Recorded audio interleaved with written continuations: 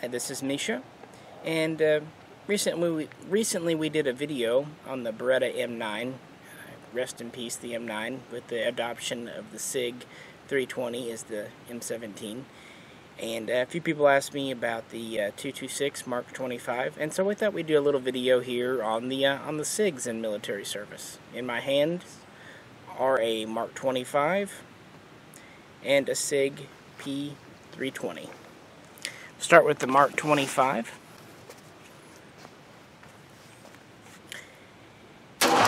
In the XM9 trials in 1984, 1985, the SIG 226 was neck and neck with the Beretta 92 FS. In the end, or I should say, let me back up before someone comments, the 92 SBF, also known as the 92F. The FS I know came later in 88. Anyway, so the, the, the Beretta won, but SIG wasn't completely out of the running. A lot of people liked the 226. And a short time later, the compact version, known as the P228, was adopted as the M11, and it was issued to um, plainclothes type police units, smaller stature people, people needing a more compact weapon.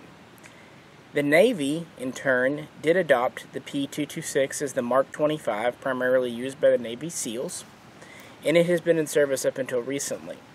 Now this is a special edition that Sig Sauer has done for a few years called the Mark 25, and it is, according to them, exactly what they're shipping or have been shipping to the uh, U.S. Navy Navy SEALs.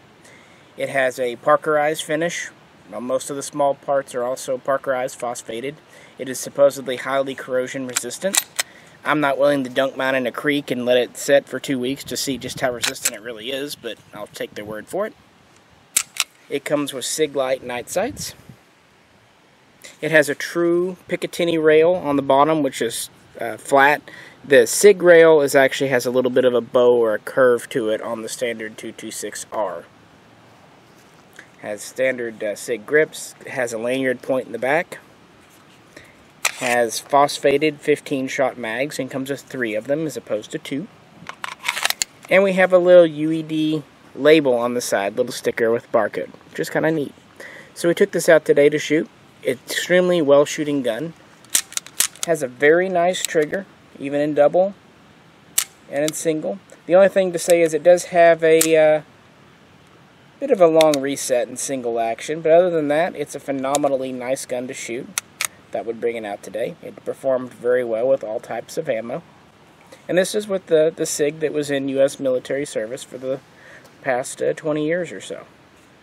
The P226 Mark 25.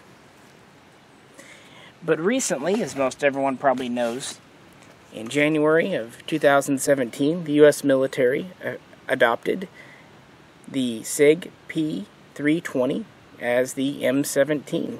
And this is what it is here. Now there's a lot of great videos out there talking about the features of this gun, so I'll just go over them quickly. We've got a pretty standard striker fired gun. That's just uh, kind of like on an Uzi, a click. It's not actually refiring. It doesn't have double strike capability. You have to cock it again. We have front and rear slide serrations. Obviously no hammer in the back. A very SIG style coarse checkered grip. We have a true Picatinny rail again. This one has five slots, so it's longer than on the Mark 25. The mags are interesting. They're marked 17 rounds.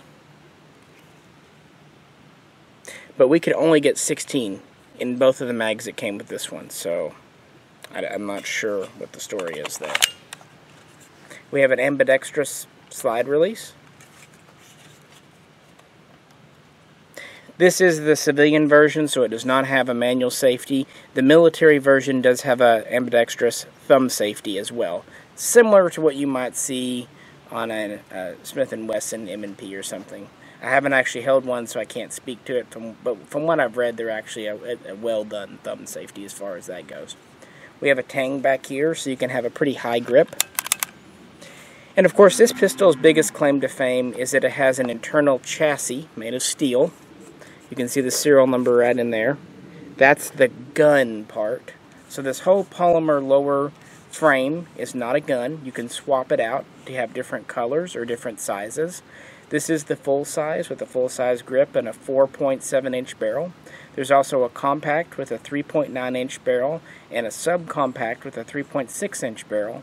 And there's a compact grip to make it smaller as a carry gun called the P320 Carry.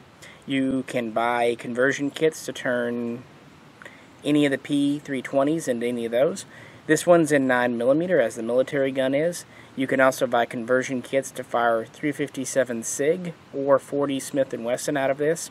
However, the 45 version is not caliber interchangeable because it uses a slightly larger magwell in here. So if you go 45, you're you're pretty much doing that. So yeah, we took this uh, P320 out today and shot you know, a couple of boxes through it. We had no problems with Blazer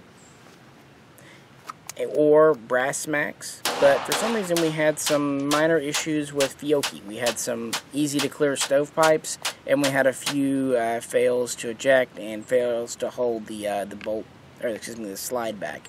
So we had some trouble with Fiocchi, but the other two types we tried, it ran fine. It was pleasant to fire. It was interesting. We both commented that it kind of reminded us of the IWI Jericho 941 with the polymer frame. It has some flip to it because it's very kind of top heavy, but it's not an unpleasant flip at all. It's still a very nice recoil, kind of has an, has an arc to it. So uh, as far as polymer guns go, it's kind of hard to stand out from the crowd. There's so many polymer striker types, but um, it's not a bad one. And uh, with the chassis system, I can see definitely why it would be appealing to some people. So um, we were afraid at first we were having some reliability issues, but we're going to tentatively say it was ammo related. Of course, we'll put more rounds through it as, as time goes on. It's getting dark and it's about time to pack up today.